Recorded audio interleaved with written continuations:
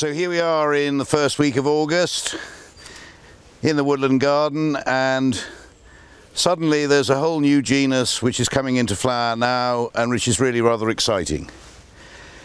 This is Clethra tomentosa and it's the first representative of the Clethra genus which we're going to look at today. This is an American species um, from the southern states of America. It's a suckering plant and you can see how it's putting up suckers and expanding into a great big clump. It's, it's tough as old boots and grows to about six, around about six feet.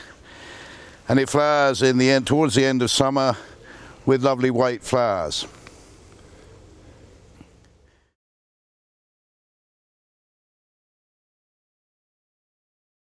And here we've got another species of Clethra with an attractive pink flower. This is Clethra alnifolia pink spire. And the flowers are really quite red in bud and they're opening out to a light pink fading off to, to white.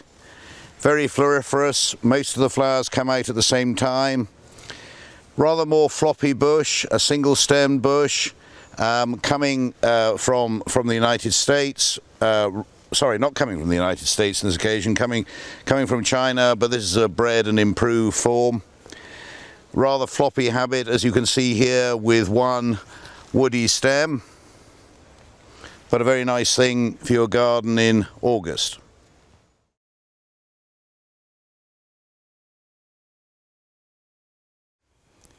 And this is a completely new Clethra species to us, Clethra kaipoensis.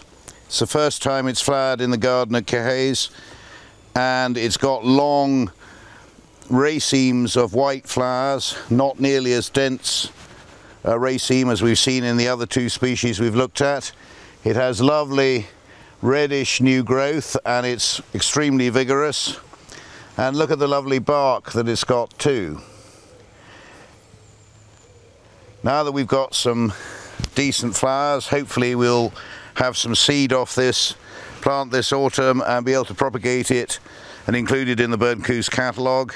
It's certainly an interesting new species, a collector's item at the moment, but something that will look great in a summer flowering herbaceous border or in the woodland garden as here today.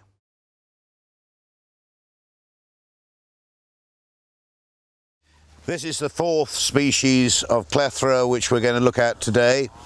This is Clethra monostachya. It was discovered by Ernest Wilson in China in 1903 and today we have a plant of this which was planted 20 years ago which is about 20 feet tall and about 15 feet wide so it's a big shrub or almost a small tree. Here we've got a young plant uh, which is just finishing flowering and about to set a plethora of seeds. White flowers in longish multiple racemes, all appearing from the tip of the growing point. Um, not such nice bark here, but a very floriferous young tree. Still quite rare, but something we're bringing into cultivation and you should find in the Burncoose catalogue in a year or two.